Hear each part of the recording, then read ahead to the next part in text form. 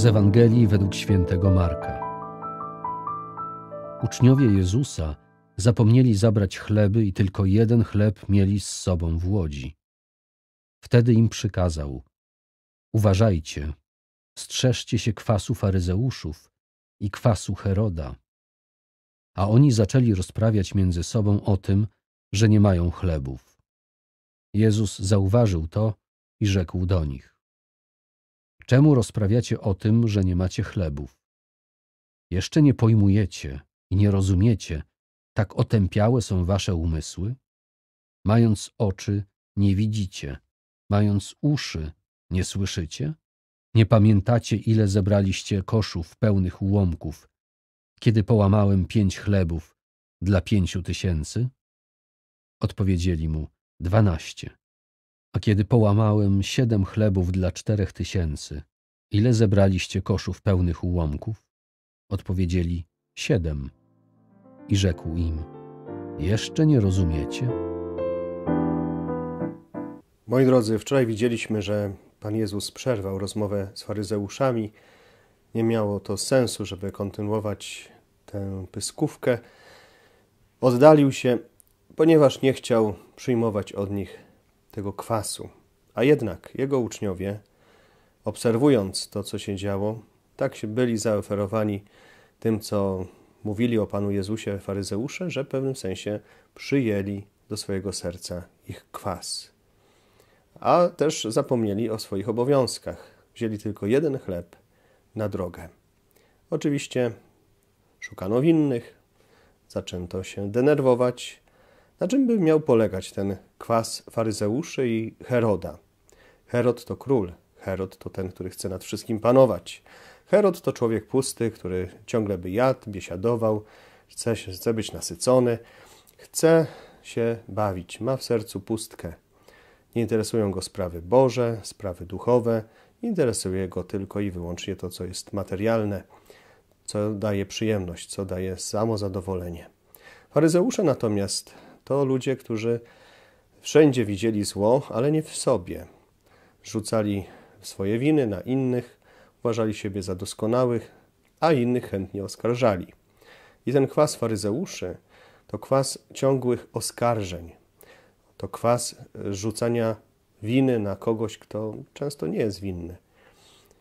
Kwas po hebrajsku znaczy hamec. Przed świętem Paschy każdy pobożny Żyd powinien sobie sprzątnąć mieszkanie, zebrać cały hamec. Hamec to takie e, rzeczy, które się psują. Jakiś e, powiedzmy produkt spożywczy, który już nie nadaje się do jedzenia. Jest skwaszony, jest fermentujący, pleśń, zgnilizna. To wszystko jest do wyrzucenia, do spalenia. Ten hamec pobożni Żydzi palą. I wypowiadają tam jeszcze słowa modlitwy, żeby to oddać Panu Bogu, ale to jest znak zewnętrzny tego, co ma dziać się wewnątrz. Jeżeli wewnątrz te wszystkie nasze fermentacje, te nasze zgnilizny nie zostaną oddane Panu Bogu, to będzie to w nas się psuć. Grzech, który nie jest oddany Bogu, psuje się i zaraża, tak jak jabłko w skrzynce jabłek, zaraża też inne jabłka, inne jabłka też gniją. Dlatego też tak ważne jest, żeby się tego strzec. Jeżeli się coś pojawi, to od razu to wyrzucić z siebie. Y, nie dać się zwyciężyć złu i zła nie można zwyciężyć złem, tylko trzeba je zwalczać dobrem. Y, chcemy prosić, aby właśnie mieć w sercu tę siłę, moc Ducha Świętego, która jest jak ogień, która wypala te wszystkie pragnienia, jakby reakcje naturalne na zło, które się dzieje, na zło, które dotyka nas, ta całą niesprawiedliwość, różne jakieś oskarżenia, różne jakieś przypisywanie nam nieprawdziwych i strasznych i okropnych rzeczy.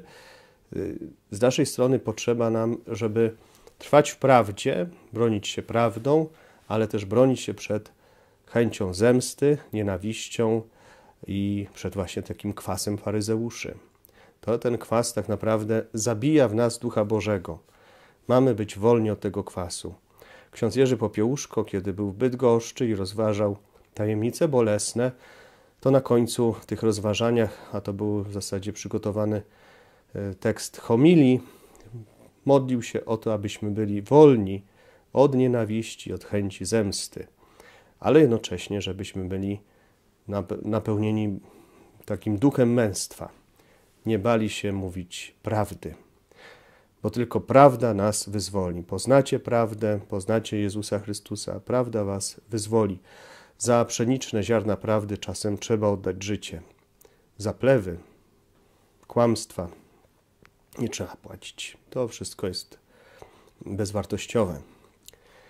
Moi drodzy, zobaczmy, jakie jest nasze serce, czy w tym sercu jest pokój, czy jest miłość, ale to, czy też jest umiłowanie prawdy. Niech prawda nas prześwietla, żebyśmy też opierali nasze życie na obietnicach Pana Boga. Bóg rozmnaża chleb, Bóg jest tym, który się troszczy o nas i takie zbytnie troszczenie się o to, co mamy jeść co mamy pić, nie należy do uczniów Chrystusa. Oczywiście trzeba pracować, trzeba wypełniać przykazania, współpracować z Bożą łaską, ale nie można zapomnieć o Bogu, który to wszystko, tym wszystkim kieruje, tym wszystkim też nas w jakiś sposób wyposaża. Są takie sytuacje, w których możemy coś uczynić i powinniśmy to czynić, a są takie sytuacje, w których no już nie mamy na to wpływu. Prośmy o takie serce, na wzór serca Jezusowego, również dla nas kapłanów, dla nas Polaków, którzy może w tym trudnym czasie, kiedy jesteśmy oskarżani o rzeczy, których nie uczyniliśmy przez y, przedstawicieli narodu wybranego, żebyśmy też nie poddawali się tego, takiemu właśnie zakwaszeniu serca, y, bo dzisiaj Pan Jezus konkretnie mówi, wczoraj mówił o oddaleniu, ale widać apostołowie sercem się jakoś nie oddalili od tego nastroju i byli poddani jakiemuś kwasowi, więc potrzeba nam tego oczyszczenia serca i też takich światłych oczu serca, żeby na to wszystko patrzeć nie naszymi oczyma, oczyma, które widzą tylko czubek własnego nosa i swoich interesów, ale patrzeć oczyma Chrystusa, który pokazuje, że jest zawsze nadzieja, zawsze pomoc. Jeżeli się oprzemy na Jezusie Chrystusie, na Jego panowaniu, to On nas będzie wyzwalał. Jeżeli oprzemy się tylko i na własnych siłach, to prędzej czy pójdzie, później pójdziemy w niewolę. Niewolę własnych zabezpieczeń. Te zabezpieczenia staną się naszą największą y, przeszkodą do zbawienia. Dlatego potrzeba, żeby Bóg był naszym największym, a w zasadzie jedynym zabezpieczeniem naszego życia. Na tę drogę do nieba, żeby nadawać się do nieba, to trzeba iść bez żadnego kwasu, kwasu faryzeuszy i Heroda.